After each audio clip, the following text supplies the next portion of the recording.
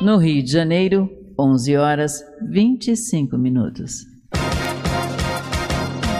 Está entrando no ar. Grande Jornal Rio Notícias. Jornalismo de credibilidade com o padrão Rio de qualidade. Apresentação: Vânia Barbosa e Adriana Souza. Olá, hoje é terça-feira, 11 de dezembro de 2018. Hoje é o dia do engenheiro. E neste mesmo dia, em 1997, há 21 anos, era assinado o Protocolo de Kyoto. E estes são os destaques desta terça-feira. Manchetes. Justiça do Rio de Janeiro ordena redução do pedágio da Via Dutra. Município do Rio planeja conceder reajustes no salário de janeiro de 2019. Senado pauta projetos que coíbem maus tratos a animais. Carteira Nacional de Habilitação com Chip é adiada para o final de 2022. Presidente Emmanuel Macron anuncia o aumento do salário mínimo na França. Autoridades indianas adotam restrições para preservar o Taj Mahal. Grande Jornal Rio Notícias. Locais. A Assembleia Legislativa do Rio de Janeiro vota hoje a prorrogação de duas leis em vigor no Rio. A da calamidade pública na administração financeira e a manutenção do Fundo Estadual de Combate à Pobreza. Ambas estão em vigor somente até o fim do ano e, de acordo com a proposta para atualizá-las, iriam até 2023. Os dois projetos de prorrogação são de autoria do governador Luiz Fernando Pezão, do MDB, preso há duas semanas na Operação Lava Jato. Na justificativa para levar adiante o estado de calamidade pública, o governador preso, suspeito de corrupção, culpa a queda de ICMS e a menor arrecadação de royalties do petróleo. O Museu Nacional, que foi totalmente destruído por um incêndio no dia 2 de novembro no Rio de Janeiro, recebeu uma doação no valor de 180.800 euros do governo alemão. A quantia, equivalente a cerca de 808 mil reais, será utilizada na recuperação do acervo resgatado dos escombros. O cônsul-geral da Alemanha no Rio de Janeiro, Klaus Zillikens, afirmou que a doação representa apenas uma etapa inicial, já que o Museu Nacional vai continuar sendo assistido. O governo alemão pretende disponibilizar um aporte de até um milhão de euros, que devem ser repassados conforme as demandas do museu. O dinheiro será usado na compra de materiais específicos de recuperação, listados pelas equipes de busca. A Justiça Federal no Rio de Janeiro anulou os efeitos de reajustes das tarifas de pedágio cobrados na rodovia Presidente Dutra. A via, que liga São Paulo e Rio de Janeiro, é administrada pelo grupo CCR. A decisão acatou a ação movida pelo Ministério Público Federal, que questionava reajustes aplicados pela concessionária nos anos 2010 e 2011. A medida determina a imediata redução das tarifas de todas as praças de pedágio da nova Dutra. O órgão não informou para quanto os valores de pedágio devem ser reduzidos. Em nota, a CCR Nova Dutra afirmou que a Nova Dutra vai apresentar recurso contra a decisão, que deve ser suspensa até que o Tribunal Regional Federal da Segunda Região aprecie a questão. A Prefeitura do Rio planeja conceder na folha de janeiro de 2019, paga em fevereiro, um reajuste salarial. Pelos cálculos já feitos, o aumento será superior a 8%, devido ao percentual acumulado de pouco mais de dois anos que os servidores não tiveram revisão de suas remunerações. A informação foi confirmada pelo secretário da Casa Civil, Paulo Messina. O secretário informa também que os motivos sobre os reajustes não serem pagos agora no salário de dezembro é porque o executivo está correndo atrás dos recursos para quitar a segunda parcela do 13º salário de 2018 no próximo dia 20. A revisão salarial vai abranger ativos, aposentados e pensionistas. No Rio de Janeiro, 11 horas 30 minutos. Cultura e lazer. Bom dia, Jade Marinho. Quais são as novidades do Cultura e Lazer de hoje? Dividida em cinco módulos, a exposição inédita Correio da Manhã, uma revolução de imagens nos anos 60, apresenta uma seleção de 88 fotografias publicadas no extinto jornal Carioca, Correio da Manhã, um dos mais relevantes veículos da grande imprensa brasileira no século XX. As imagens garimpadas no acervo do Arquivo Nacional registram, é, registram os principais acontecimentos da vida pública do país numa década que mudou o mundo. A mostra pode ser visitada até o dia 23 deste mês na Caixa Cultural. A entrada é gratuita. O local funciona de terça a domingo, das 10 da manhã às 9 da noite. O endereço é a Avenida Almirante Barroso, número 25, no centro da cidade. A Fundação Planetário da Cidade do Rio de Janeiro está fazendo duas observações do céu por semana. Elas acontecem às quartas-feiras e aos sábados, mas só se o tempo estiver firme e sem nebulosidade na Gávea. A atividade tem início às sete e meia da noite durante o horário de verão. Meia hora antes são distribuídas senhas na rua Vice-Governador Rubens Bernardo, número 100, para quem quiser participar. Como a entrada é gratuita, a contribuição espontânea do ingresso social, um quilo de alimento não perecível, ajuda a campanha do Sesc Rio Mesa Brasil. Com aulas gratuitas, crianças com mais de 6 anos de idade aprendem desenho com histórias do grafite na Lona Cultural Municipal Elza Osborne, em Campo Grande. As lições acontecem às sextas-feiras, na parte da manhã, no horário de 9 e meia. As inscrições precisam ser feitas com antecedência na própria lona ou pelo telefone 3406-8434. O espaço oferece também outras atividades gratuitas durante a semana. O endereço é na estrada Rio do, Rio do A, número 220, na zona oeste da cidade. A Galeria Atena apresenta a exposição Arena, do artista Vanderlei Lopes. Cerca de 30 trabalhos inéditos feitos em bronze vão ocupar todo o espaço expositivo da galeria. Produzidas neste ano, as obras da exposição se unem em torno da questão do tempo e da construção cultural. As obras são feitas a partir de moldes dos objetos originais, o que as torna muito próximo ao real, não parecendo, em um primeiro olhar, serem em bronze. A entrada é gratuita e a mostra pode ser conferida de terça a sábado. O endereço é Rua Estácio Coimbra, número 50, em Botafogo, zona sul da cidade. E essas foram as novidades do Cultura e Lazer de hoje. Eu volto amanhã com muito mais. Obrigada, Jade. Até amanhã, Jade. Previsão do tempo. Rio e Niterói tem céu claro, a umidade relativa no ar é de 94%. Para amanhã, a previsão é de céu claro e agora, na Ilha do Governador, 31 graus. Grande Jornal Rio Notícias Nacionais. Uma decisão do Tribunal Regional Federal da Terceira Região derrubou a liminar que suspendia o acordo entre as empresas Boeing e Embraer para a criação de uma nova empresa.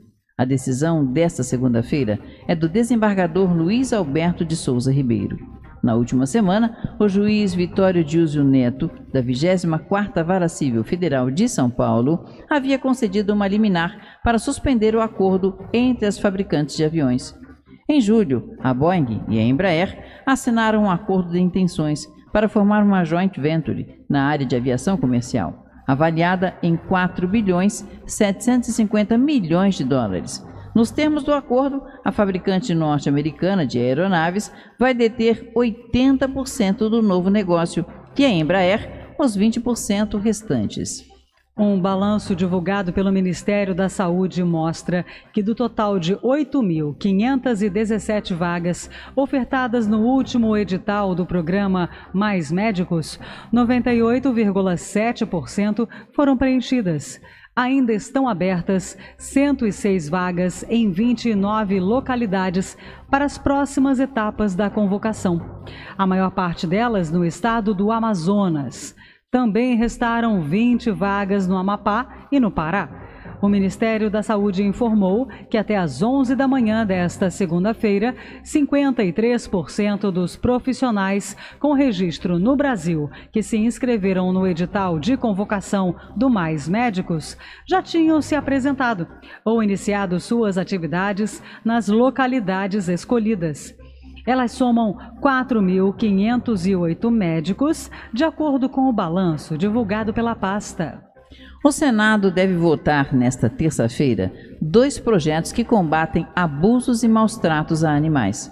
As matérias tramitam em conjunto e foram incluídas na ordem do dia do plenário para que sejam apreciadas de forma rápida pelos senadores, sem passar pelas comissões temáticas. Elaborado na última quarta-feira pelos senadores Randolfo Rodrigues, da Rede, e Eunício Oliveira, do MDB, presidente do Senado, o projeto de lei eleva a pena de maus tratos e estabelece o pagamento de uma multa para estabelecimentos comerciais que forem coniventes com a prática. A proposta altera uma legislação de 1998 relativa a condutas lesivas ao meio ambiente. Se aprovada pelos senadores e posteriormente pela Câmara, a pena de detenção para o abuso, ferimento ou mutilação de animais silvestres ou domésticos vai aumentar para pelo menos um ano e, no máximo, três anos. O Conselho Nacional de Trânsito adiou para 31 de dezembro de 2022 o novo modelo da Carteira Nacional de Habilitação com chip. Antes, o prazo previsto para o início de expedição da nova CNH era para o próximo dia 1. A medida foi anunciada há um ano. De acordo com a nova resolução publicada em novembro, os órgãos e entidades executivas de trânsito dos estados e Distrito Federal vão ter até o final de 2022 para adequar seus procedimentos ao futuro padrão de CNH. Além das mudanças na carteira de habilitação, a exigência das novas placas do Mercosul para veículos no Brasil foi outra novidade que teve diversos adiamentos.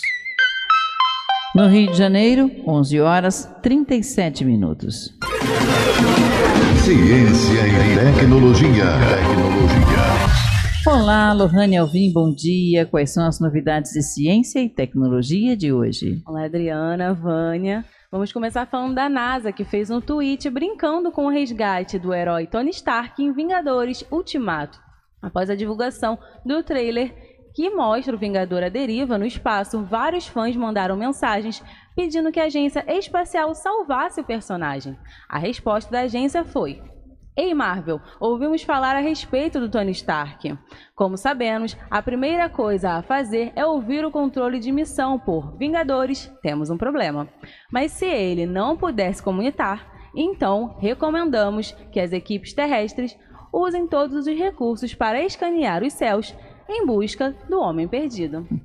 Legal, né? Muito bom. E ainda falando na NASA, a Agência Espacial Americana informou nesta segunda-feira que a sonda Orisis Rex descobriu água na superfície do asteroide Bennu. O corpo rochoso é monitorado pelo equipamento desde a última semana.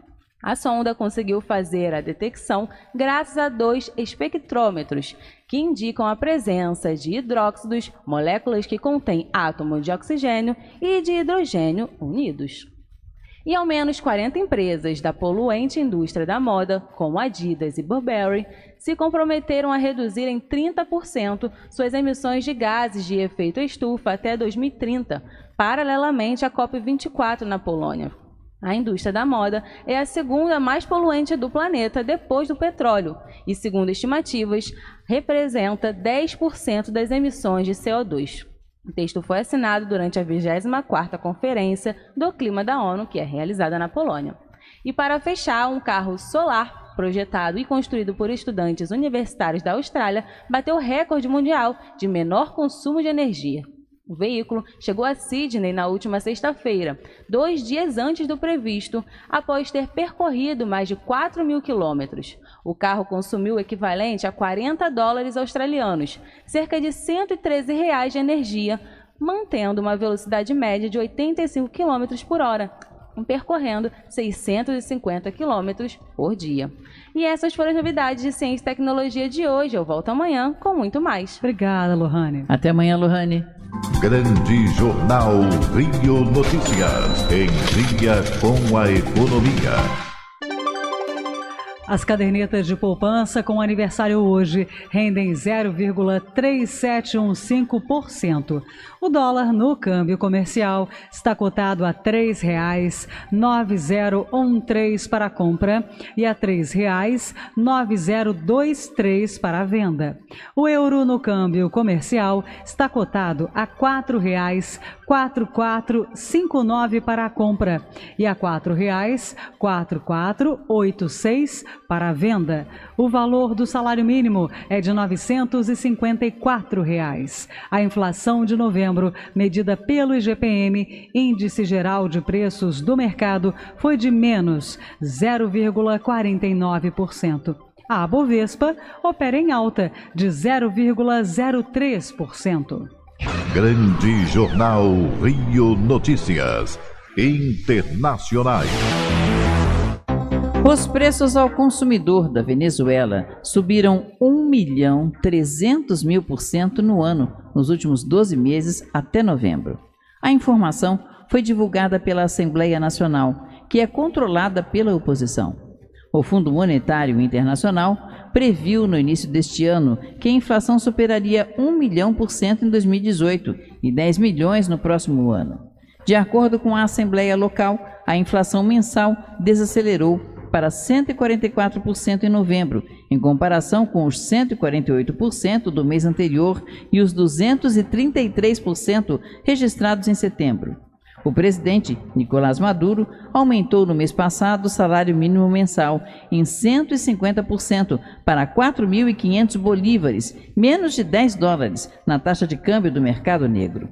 Os cidadãos reclamaram que não podiam pagar itens básicos, apesar de um aumento de 60 vezes no valor do salário mínimo em agosto. A primeira-ministra britânica Theresa May anunciou o adiamento da votação do acordo sobre a saída do Reino Unido da União Europeia. A votação estava prevista para ocorrer nesta terça-feira. Ela confirmou o adiamento após a reunião com o parlamento britânico em Londres. Até o momento, não há data para uma nova votação do acordo do Brexit. O governo afirma que o Reino Unido deve deixar a União Europeia em 29 de março de 2019.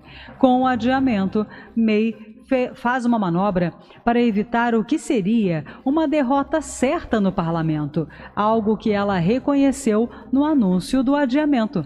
A Premier justificou o adiamento, entre outras razões, pela questão da fronteira da Irlanda do Norte com a República da Irlanda, que é independente e integrante da União Europeia. O presidente da França, Emmanuel Macron, anunciou um aumento de 100 euros no salário mínimo, que atualmente é de 1.200 euros. E esse foi o seu primeiro pronunciamento à nação desde o início dos protestos dos coletes amarelos há quatro semanas. Ele também disse que aposentados que recebem menos de 2 mil euros por mês não vão precisar pagar uma contribuição social generalizada em 2019 e informou a isenção de impostos e taxas às empresas sobre as horas extras pagas a seus funcionários até 2019. O presidente também prometeu um debate sem precedentes para conduzir uma profunda reforma do Estado. As autoridades indianas multiplicaram por cinco o preço da entrada no Taj Mahal para os visitantes locais. O projeto visa limitar o número de turistas e reduzir os danos causados ao monumento turístico mais importante da Índia. O ingresso, tudo incluído para o mausoléu, construído no século XVII pelo imperador mongol Shah Jahan em memória de sua esposa Mumtaz Mahal, passou de 50 para 250 rúpias para os turistas indianos. A maioria entre os cerca de 15 mil visitantes diários ao palácio trazendo para o dólar o valor passou de 70 centavos para 3,50. Já o ingresso para turistas estrangeiros ao Palácio de Mármore Branco da cidade de Agra, no norte da Índia, subiu de 16 para 19 dólares. No Rio de Janeiro, 11 horas 45 minutos. Giro de repórteres. Brasileiros formados no exterior já podem se inscrever no programa Mais Médicos. E a repórter Aline do Vale tem mais informações. A partir desta terça-feira, 11 de dezembro, médicos brasileiros e estrangeiros formados no exterior e que ainda não possuem registro no Brasil, CRM, podem iniciar o processo de inscrição para o programa Mais Médicos. Os candidatos terão até o dia 14 de dezembro para enviar os 17 documentos exigidos. O secretário nacional de Gestão do Trabalho e da Educação na Saúde, Marcelo Melo, explica como será feita a validação do registro dos profissionais selecionados. Esses médicos, eles passam por um processo de validação pelo Ministério das Relações Exteriores. Então, existe um departamento dentro do Ministério da Saúde, ligado ao Ministério das Relações Exteriores, que vai olhar esses documentos, saber se esses documentos são, são válidos, se essa faculdade existe, se ele tem antecedentes criminais no país de origem. Depois que isso é validado, então o Ministério das Relações Exteriores nos, nos homologa essa inscrição e aí ele vai poder escolher. O secretário ainda ressalta que os formados no exterior, sejam brasileiros ou não, devem ter dedicação exclusiva às unidades básicas de saúde. Aqueles que não atendem a esse critério são notificados pelo Conselho de Medicina da região e excluídos do programa. Confira o edital e informações adicionais no site saude.gov.br. Reportagem Aline do Vale. Câmara discute implantação de placas no padrão Mercosul nesta terça-feira. Mais informações com a repórter Cíntia Moreira. A Comissão de Viação e Transportes da Câmara dos Deputados vai fazer uma audiência pública nesta terça-feira para discutir a implantação das novas placas de veículos no padrão do Mercosul.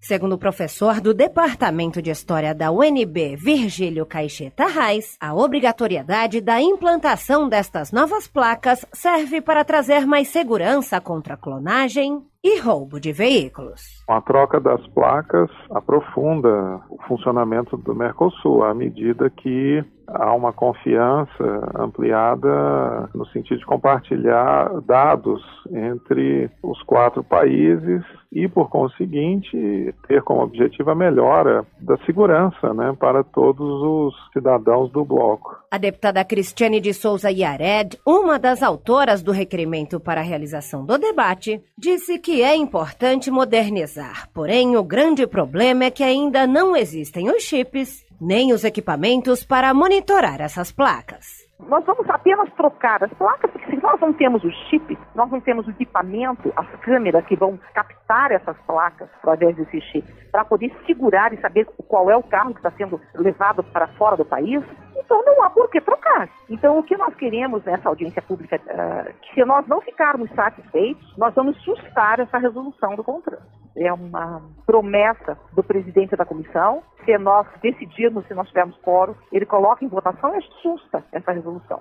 Essa audiência pública, que está prevista para a tarde desta terça-feira, também deve discutir a questão da data da implantação das placas. Isto porque, no começo do mês, as placas se tornaram obrigatórias no Rio de Janeiro. Até esta segunda-feira, elas deveriam ser implantadas no Amazonas, Espírito Santo, Goiás, Pernambuco e Rondônia. Já o restante do país teria até o último dia do ano para se adaptar. É importante destacar que nem todos os motoristas precisam fazer a troca das placas. A mudança é necessária apenas para os carros novos que ainda serão emplacados e para os veículos com troca de propriedade, de domicílio e de alteração de categoria. No Mercosul, Argentina e Uruguai já adotaram as novas placas. Faltam então Brasil e Paraguai. As placas do Mercosul são brancas e azuis com o nome e a bandeira do país e o emblema do Mercosul. Elas têm quatro letras e três números e um QR Code que trará maior segurança contra a clonagem de veículos. Foram convidados para discutir o assunto com os parlamentares, representantes do Departamento Nacional de Trânsito, Denatran,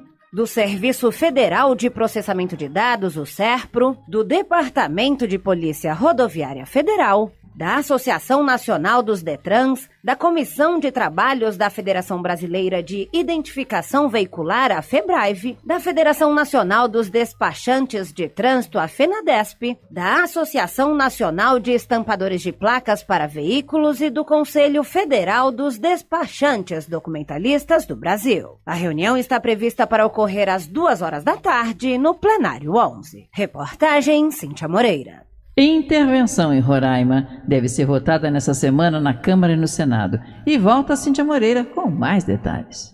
A intervenção federal em Roraima teve início nesta segunda-feira com a publicação de um decreto no Diário Oficial da União, mas por determinação constitucional precisa do aval do Congresso Nacional. Por isso, o texto vai ser analisado separadamente na Câmara dos Deputados e no Senado Federal. Agora, o atual presidente da Câmara, Rodrigo Maia, vai definir se manda o texto para a comissão ou se o leva diretamente para o plenário, onde vai designar um deputado para ser o relator. Quando chegar ao plenário, o projeto de decreto legislativo vai ter prioridade sobre todas as demais matérias da pauta. Segundo o presidente da República, Michel Temer, o decreto nomeia como interventor o governador eleito em outubro, Antônio Denário. Nós achamos que a melhor solução seria efetivamente nomear o governador eleito como interventor, até porque, convenhamos, nesse momento, eles já estão lá fazendo a transição de um governo para o outro, isso facilita muito as coisas.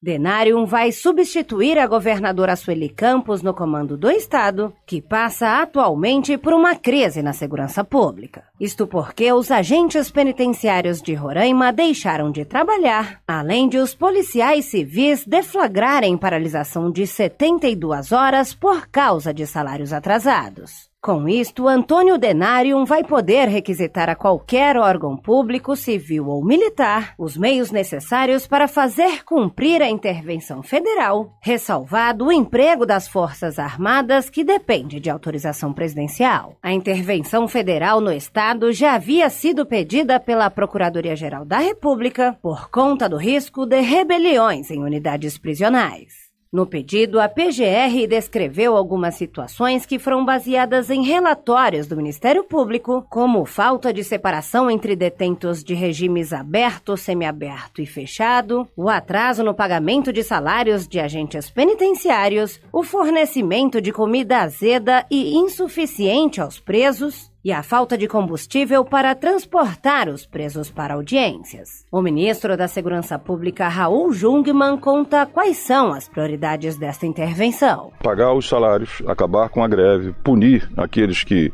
cometeram excessos e, obviamente, também fazer uma auditoria de tudo que lá se passa. Então, isso é que tem que ser feito e que será feito. Este decreto tem validade imediata, mas, como precisa do aval do Congresso Nacional, as duas casas devem votar em regime de urgência o projeto de decreto legislativo autorizando a intervenção federal. Reportagem Cíntia Moreira. Mercado reduz expectativa de inflação e de crescimento do PIB. Mais detalhes com o repórter Marquesan Araújo. A expectativa do mercado financeiro é de baixa na inflação para 2018. Os economistas também reduziram a previsão de crescimento da economia para este ano. As estimativas constam no Boletim Focus desta segunda-feira. Para o Índice Nacional de Preços ao Consumidor Amplo, o IPCA, que é a inflação oficial do país, a previsão é de queda de 3,89% para 3,71%. Esta foi a sétima queda consecutiva para o indicador prevista pelo mercado.